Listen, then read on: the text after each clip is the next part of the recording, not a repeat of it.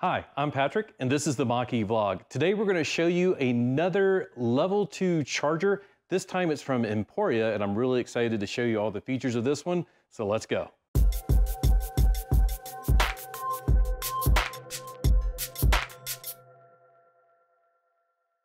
So of course, as with many chargers, this has a lot of the, the, the, same common features. It's a up to 48 amp charger if you have it hardwired. Today we're gonna use a NEMA 1450 plug, so it's good for up to 40 amps, but it can you can scale it down if you don't have that much power going to your garage or wherever you're powering this. It can scale down to 15 amps. It is also rated so that it can go down to temperatures of like negative 22 degrees on up to 122 degrees, which that should cover most people. But if you are going to mount it outside, you probably want to put it like under an awning or something like that to keep the sunlight from being on it because even if it's like 100 degrees outside with the sun and all, that can get the temperature up. It is waterproof, so it, you know you can't like submerge it or anything, but it should withstand the rain and snow and other elements. So just a lot of great features with this. It is also a smart charger, so wherever you install it, you need to have Wi-Fi, and then the app is where you have a lot of great features with this. A couple of reasons that we're really excited to share this one with you is one, Emporia is a local company to us. We're here in Denver, Colorado. They're located in Littleton, Colorado. We actually went and took a tour of their facility, met with their CEO, Sean McLaughlin. Besides the EV charger, they have some really cool home energy management systems and home monitoring, uh, home energy monitoring systems. So we took a look at some of that stuff. And what this enables this charger to do is like if you have a home solar system, you can monitor what your uh, energy output is from the solar system and then balance your charging to match that. So, for example, if you are charging during the day but your air conditioner is kicking on, you can tell it to pause charging while your AC is on. When the AC is back off, then you start charging again. So some really cool features that I love, and we are gonna probably do a deeper dive into some of that stuff. But in this video, we'll focus just on the home, uh, the level two charger. Of course, we have to get this installed. We're gonna show you here, let me scoot this out of the way. So there's the outlet that we're going to install it on. We're gonna mount it above that. This outlet is actually relatively high. I would recommend doing a, an outlet a little bit lower than that because the charger is going to be up above that, a little bit higher than what I would want. But overall, this is a great installation. Here's the circuit breaker right ne next to it. And that's a NEMA 1450 plug.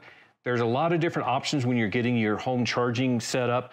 But what I recommend is to ask for a 50 amp circuit with a NEMA 1450 plug.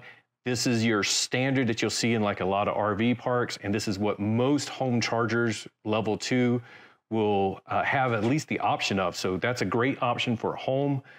And the other thing that I would recommend is some uh, electricians will say like you, you can get away with eight gauge wire. I would go with six gauge. And the reason for that is, is because you're gonna be charging for so long, it builds up quite a bit of heat. The six gauge wire can handle that a lot easier. So that's my tip for that. Inside the case, we of course just have the, the charger. I won't get everything out right now, but we have a charger, we have a mounting bracket, and we have a holster.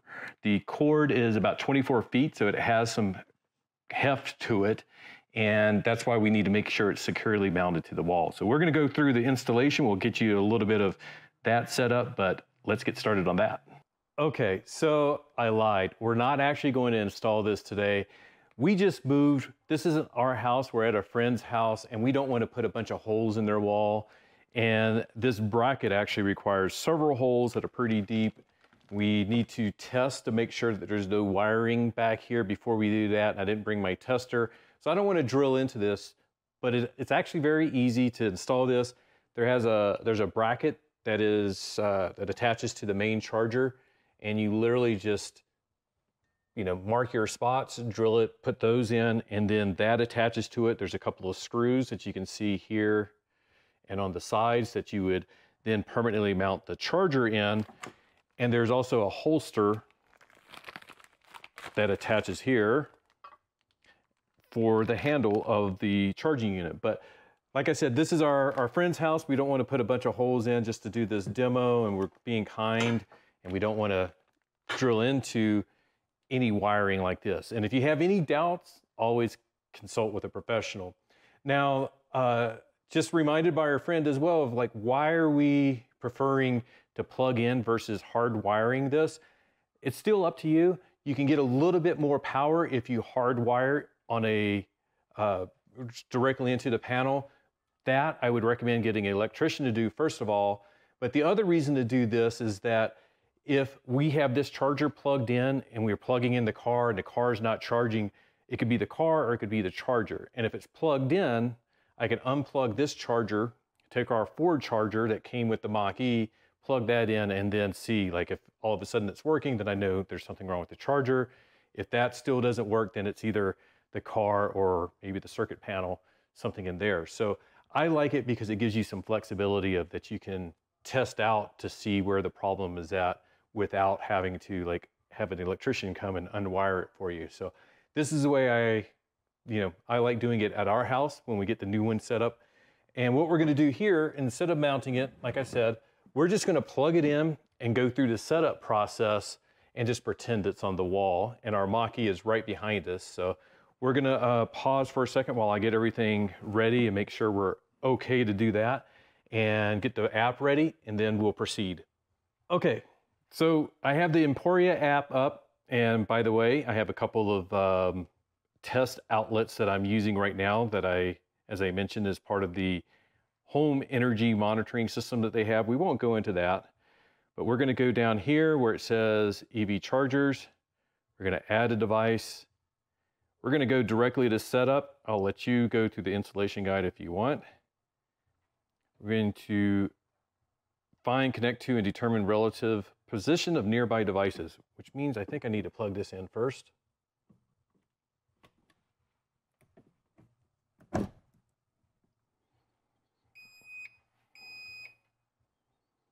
we're going to say allow.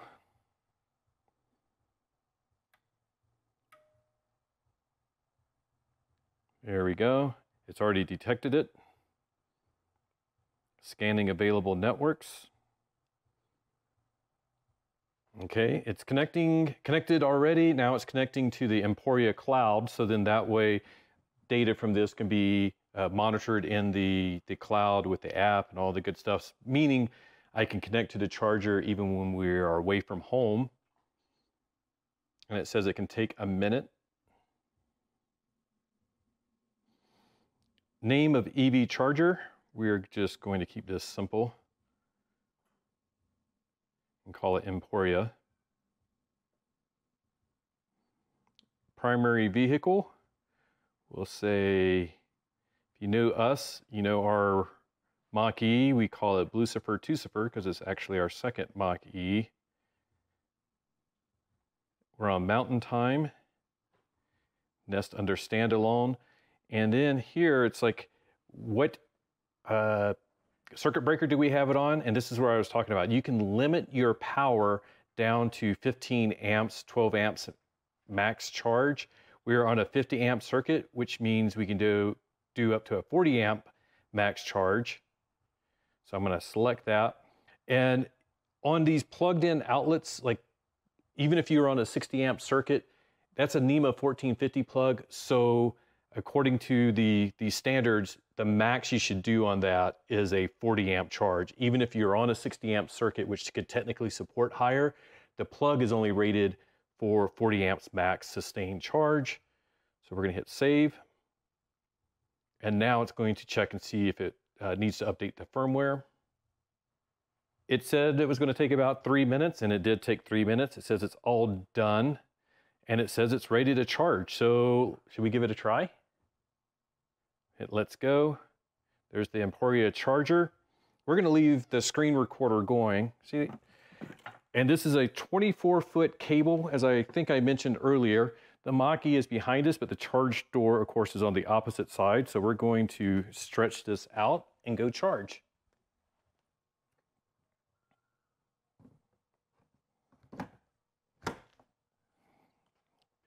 Here we go.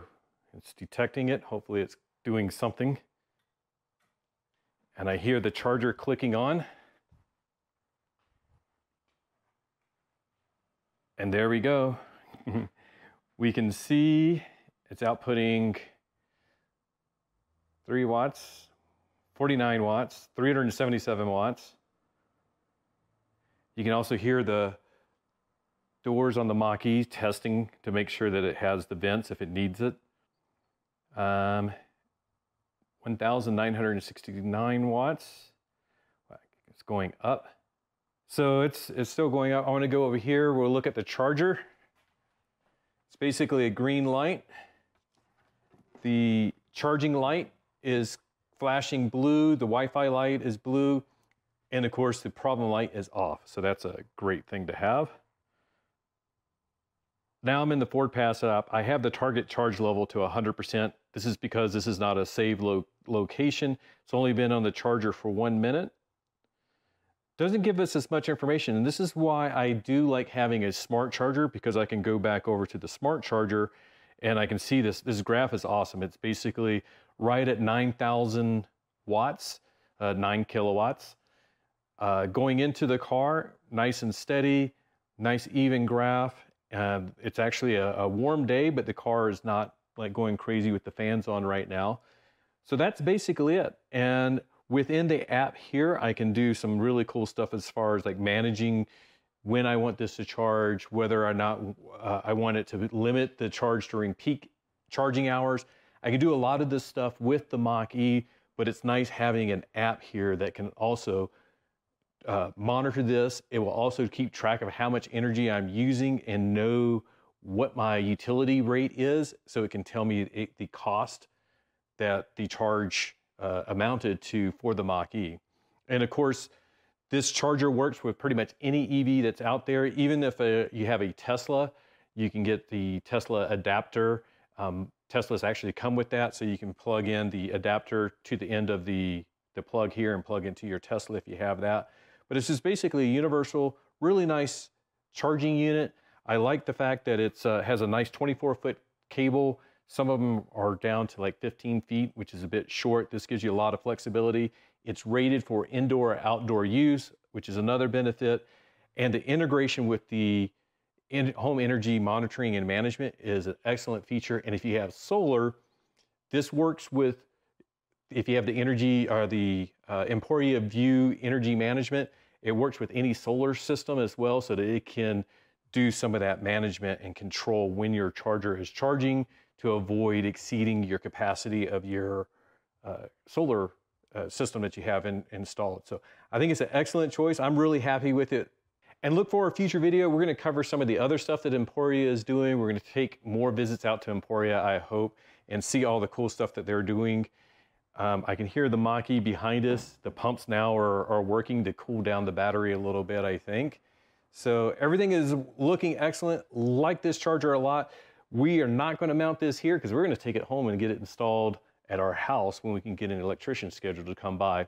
So just with our quick overview, I really like this charger. The charging cables seem really solid. I like the length of it. I like the fact that it's, you know, can be monitored with some of the other energy management stuff from Emporia if you want us to go out there and talk to them, ask them any questions, if you have any questions about any of their products, please drop a comment below. If you have a solar system, is this something that interests you, being able to control your charger based on what your solar system is doing, like maybe not charge on cloudy days or, or stuff like that? Let us know. If you have any feedback from Emporia, let us know as well. Like I said, they're locals. Okay, we're not going to do a full charge. We don't want to use all of our friends' energy, but we're going to go ahead and hit stop charging. And it's sort of thinking about things. And then there we go. It's ready to stop. Oop, I didn't take out this little piece of rubber. To, it's a little piece of rubber.